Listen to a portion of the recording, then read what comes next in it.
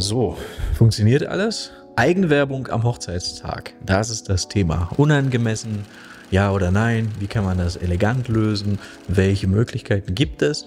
Diese Frage wurde gestellt in unserer Facebook-Gruppe. Wenn du nicht in der Facebook-Gruppe bist, unter diesem Video findest du einen Link. Da ist auch die Facebook-Gruppe verlinkt. Ist die größte Facebook-Gruppe rund um das Thema Hochzeitsfotografie im deutschsprachigen Raum. Ist kostenlos.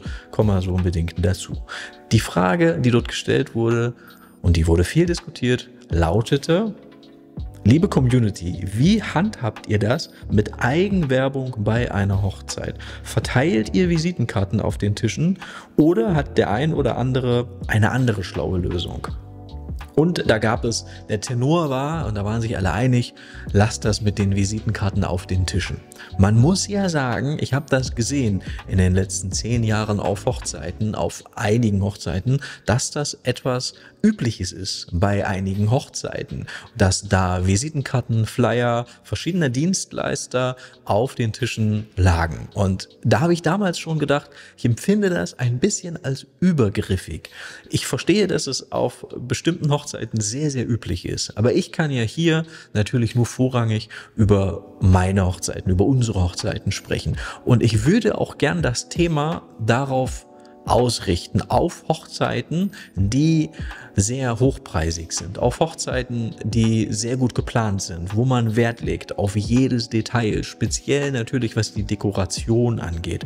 Auf unseren Hochzeiten gibt es Planerteams, die messen mit Maßband den Abstand zwischen den Tellern, dem Besteck, den Tischen, den Stühlen und all diese Dinge. Also da gibt es sehr viele Leute, die stundenlang an diesem Setting bauen. Wenn ich da also jetzt einfach mal meine Visitenkarte dazu packe, dann wären die recht sauer. Das heißt, in meinem Fall und auf bestimmten Hochzeiten könnte das Auslegen von Flyern und Visitenkarten, egal wo, ob auf der Bar oder auf dem Tisch, in meinem Fall würde das wahrscheinlich dazu führen, dass ich keine Hochzeiten mehr bekomme. Also ich würde das Gegenteil von dem erreichen, was ich da versuche zu erreichen. Die Frage ist doch, welches Ausmaß ist denn okay? Und das hängt eben sehr von der Hochzeit ab. Es liegt ja sehr viel zwischen, ich bin positiv und lächle am Hochzeitstag und ich lege Flyer oder Visitenkarten aus. Beides wird empfohlen und beides kann natürlich zu Folgebuchungen führen. Ich kann eine tolle Ausstrahlung haben. Da haben Gäste noch nicht ein Foto gesehen, aber einfach, weil sie das Gefühl haben, das ist ehrlich, das ist positiv, der lächelt immer, ist eine tolle Ausstrahlung. Den hätte ich auch gern auf meiner Hochzeit. Fotos sind ja erstmal nachrangig, die kann ich mir ja später anschauen. Aber Ausstrahlung sozusagen das Minimum, die, die Grundvoraussetzung und das Lauteste, was wir wohl machen können, wäre uns zum Beispiel bei einem Gruppenfoto vorzustellen und zu sagen, jetzt wo ihr alle einmal da seid, ich bin übrigens der Fotograf, das machen ja ganz gern auch mal DJs, so vor oder nach dem ersten Tanz, dass die sagen, so jetzt geht's richtig los, ich bin übrigens DJ XY, hier ist meine Karte und meine Website oder mein Insta und dann läuft das vielleicht da noch irgendwo mit so einem, mit so einem Reklameboard durch. Also es gibt sehr viele laute Möglichkeiten. Laut wäre zum Beispiel auch, die eigenen Fotos zu präsentieren am Hochzeitstag in irgendeiner Form. Das gibt's ja. Man kann also Fotos während eines längeren Hochzeitstages bearbeiten, speziell wenn du mit einem Second Shooter arbeitest oder wenn du in einem Team zu zweit arbeitest, du also dich nicht trennen musst zwischen Hochzeitsgeschehen und ich bearbeite schnell ein paar Bilder, also wenn du zu zweit bist, kannst du einen Second Shooter mitnehmen, dann kannst du natürlich dem beauftragen, fünf bis zehn Fotos, vielleicht 20, 30 schnell zu bearbeiten in Lightroom mit einem Preset. Die Auswahl dafür, die kann man am Hochzeitstag machen, wenn es eine Rating-Funktion gibt auf deiner Kamera. Und wie gesagt, das nutzen sehr, sehr viele, ähm, dass sie während des Hochzeitstages, ich mache das auch, wenn ich das Gefühl habe, das Foto ist mir gelungen, ich sehe es kurz in der Rückschau am Display, ich drücke Rate und es ist in dem Moment bewertet. Wenn ich jetzt also diese Karte rüberziehe in Lightroom, ähm, das Ganze öffne, dann ist dieses Foto bewertet. Und das, was wir dann häufig gemacht haben, ist, wir haben die bewertet bearbeiteten Fotos, das waren dann vielleicht 10, 20, die haben wir mit einem Schwarz-Weiß-Preset bearbeitet. Also wir haben es uns leicht gemacht, damit es schnell geht und haben die ausgedruckt am Hochzeitstag. Wir haben also so einen kleinen mobilen Ähm, das müsste ein Canon Selfie, hieß der Drucker, gehabt. Der ist recht klein, der braucht Strom. Und dann haben wir Fotos ausgedruckt und haben die direkt dem Brautpaar gegeben, als wir gegangen sind oder am Hochzeitstag oder was auch immer. Und davon gibt es weitere Versionen. Man kann das Ganze am Laptop zeigen. Ähm, man kann diese Fotos per WhatsApp schicken. Also ich kann am Hochzeitstag schon Fotos ausliefern in irgendeiner Form. Und das wäre sicher auch eine sehr laute Form der, der, der Eigenwerbung. Natürlich sicher eine sehr effektive, weil das die einzige Form ist, an dem Gäste Fotos sehen, die an diesem Tag entstanden sind. Das ist etwas sehr Effektives natürlich, aber möglicherweise auch unangemessen auf bestimmten Events. Wir waren also auch auf Hochzeiten, wo wir das dann gemacht haben, wo uns dann gesagt wurde, es ist jetzt vielleicht nicht gerade passend, weil wir essen ja gerade und die Fotos sind uns jetzt nicht so unglaublich wichtig, ähm, wie wir dachten in, in dem Moment. Und das könnte dann recht schnell sehr unangenehm werden. Wir haben also irgendwann aufgehört, und ich habe auch das Gefühl, dass natürlich ich jetzt sehr in den Ablauf eingreifen würde, in dem Moment, wo ich sagen würde, jetzt gucken wir uns mal ein paar Fotos an. Das heißt, auch davon haben wir, haben wir abgesehen. Aber sehr effektive Methode und funktioniert auf bestimmten Hochzeiten, genauso wie es auf bestimmten Hochzeiten funktioniert, Visitenkarten, Flyer an der Bar oder irgendwo auszulegen. Das sind also eher laute Methoden, von denen wir bei den Hochzeiten, die wir aktuell machen, absehen. Und jetzt fragst du dich vielleicht, wenn du, wenn du irgendwo hin möchtest, also wenn du auch Hochzeiten machen möchtest, ähm, äh, die sehr detailverliebt sind, die sehr viel Wert legen auf, äh, die, äh, auf die Planung und auf diese Details, wenn du dahin möchtest, dann halte ich es für klug, dich auch sofort so zu verhalten, wie es nötig wäre auf dieser Hochzeit. Also aktuell bist du möglicherweise auf Hochzeiten, von denen du sagst, da möchte ich nicht mehr sein. Dann ist in meinen Augen der erste Schritt, dich anders zu verhalten, damit Gäste auf den Hochzeiten das sehen, die möglicherweise anders heiraten, die dich sehen auch bei ihrer Hochzeit. Das klang jetzt unglaublich wild formuliert. Aber so schnell wie möglich dich so zu verhalten, wie du dich verhalten müsstest auf einem Event, auf dem du zukünftig sein möchtest, ist, glaube ich, der Schlüssel, um schneller an dein Ziel zu gelangen. Also, wie kann man konkret für sich werben an einem Hochzeitstag, der sehr detailverliebt geplant wird? Das ist ein kleinster gemeinsamer Nenner von allen Dienstleistungen oder Produkten, die teuer sind. Etwas Teures ist häufig detailverliebt. Wenn du eine teure Uhr kaufst, ist sie oft handgemacht. Wenn du ein Hotel besuchst, das sehr teuer ist, dann wird dir auffallen, dass in diesem Hotelzimmer Wasser bereitsteht für dich, weil das etwas Selbstverständliches ist, dass man Wasser zur Verfügung stellt, wenn man Gastgeber ist, dass dort vielleicht eine kleine Schüssel Obst steht, dass da vielleicht ein kleiner Zettel steht, wo drauf steht, hallo Herr XY oder Frau, herzlich willkommen, du wirst, äh, du wirst gut ongeboardet sozusagen. Du weißt, findest dich zurecht, du weißt, wo in diesem Hotel ist was. Genauso, wenn du in ein gutes Restaurant gehst. Du wirst begrüßt, professionell, du bekommst Dinge vorgestellt, empfohlen, es wird mit dir darüber gesprochen. Das heißt, diese Detailverliebtheit zieht sich durch, durch Dinge, für die man viel Geld bezahlt. Und das ist so bei Hochzeiten, für die die Kunden und Kundinnen hohe Budgets zur Verfügung haben. Das heißt, wie ich es bereits gesagt habe, die Dinge wie Details, aber auch das Verhalten oder die Outfits der Dienstleister, die spielen eine Rolle. Ich dachte früher, das ist ja alles nicht so wichtig und ich kann doch das alles machen, wie ich das möchte. Nee, es spielt eine Rolle, umso, umso höherpreisiger eine Hochzeit geplant wird. Das heißt, der Spielraum, um Eigenwerbung zu machen für uns am Hochzeitstag, der ist recht begrenzt. Wir können aber definitiv, und das ist der erste Punkt, immer lächeln. Wir können immer, egal wie stressig es ist, eine positive Ausstrahlung haben. Wenn wir beobachtet werden, wenn wir arbeiten, versuchen wir immer eine positive Ausstrahlung zu haben, zu lächeln, den Gästen, dem Gästen Blickkontakt zu halten, wenn sie uns anschauen, zu lächeln, zuzunicken, Hallo zu sagen. Diese Dinge erachte ich als selbstverständlich und das kann dazu führen, dass man weiterhin im Rennen ist für Folgebuchungen. Einfach, weil man diese Mindestanforderung auf solchen Events erfüllt, nämlich eine positive Grundausstrahlung. Machen wir es mal wieder konkret und übertragen das mal wieder auf ein anderes Beispiel. Zum Beispiel auf einen Kellner in einem sehr guten Restaurant oder auf einen Mitarbeiter in einem Hotel, was sehr viel Geld gekostet hat. Wir erwarten von diesen Personen, dass sie uns anlächeln, wenn wir reinkommen, wenn sie uns ansprechen. Wir erwarten von ihnen eine recht positive Ausstrahlung.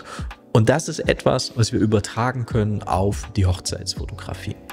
Der zweite Punkt wäre eine angenehme Zurückhaltung. Man wäre nicht übergriffig als ein solcher Kellner oder ein solcher Mitarbeiter oder ein solcher Verkäufer in einem, in einem, in einer Modeboutique, wo sehr teure Handtaschen verkauft werden. Man wäre freundlich, man hätte eine positive Ausstrahlung, aber man wäre nicht übergriffig. Man würde nicht ähm, zu viel reden. Man würde nicht zu viel eingreifen. Man wäre bedacht, mit den Dingen, die man sagt oder formuliert. Das Gegenteil davon wäre zum Beispiel sehr trampelig zu sein.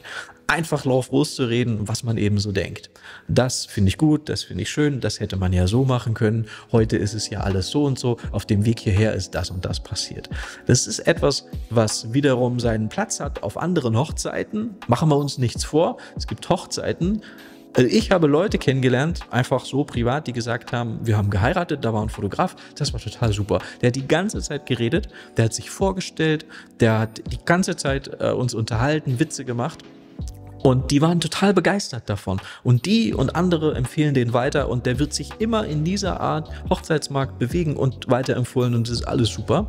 Ähm, das heißt, alles ist irgendwo möglich und ich sage nicht, jeder muss jetzt sich so verhalten, wie ich das finde, ähm, sondern ich sage, wie ich es für richtig empfinde, wie ich mich auf den Hochzeiten verhalte, für die wie gebucht werden. Und das bedeutet, und, und, und da zähle ich zu diesen Grundeigenschaften, eine positive Ausstrahlung und eine angenehme, zurückhaltende Art. Das heißt, ich stehe lieber da, lächle und stimme zu, als dass ich mich zu weit aus dem Fenster lehne und möglicherweise Dinge sage, die unangemessen sind. Und diese Dinge, die unangemessen sind, die sind manchmal, die passieren mir natürlich auch und die passieren viel schneller, als man denkt.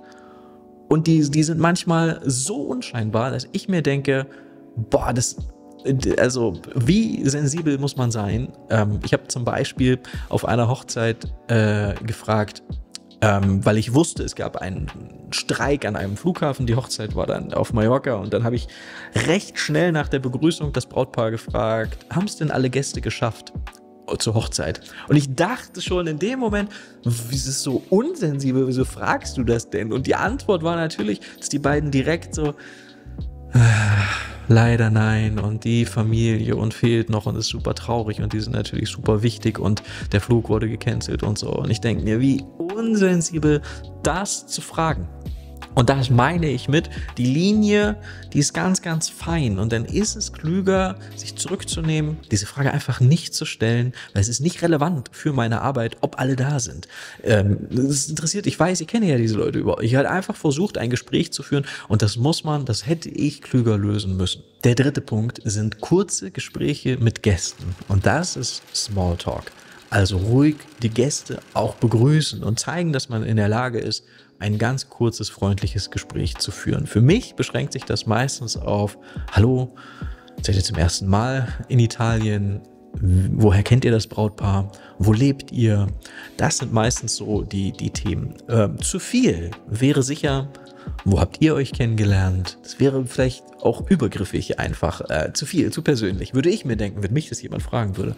Oder äh, Politik. Oder ähm, alles, was irgendwie, wo, wo es Meinungs, äh, wo es Meinungen zugibt, das versuche ich fernzuhalten. Aber nichtsdestotrotz, diese kleinen Gespräche, die öffnen Türen nicht nur zu möglichen besseren Fotos, weil die ja merken, ah, die sind okay, kann man kurz reden. Und nach diesem kurzen zweiminütigen, dreiminütigen Smalltalk frage ich auch meistens, kann ich schnell ein Foto von euch machen? Und dann gehe ich mit denen zur Seite, mache ein Foto von denen.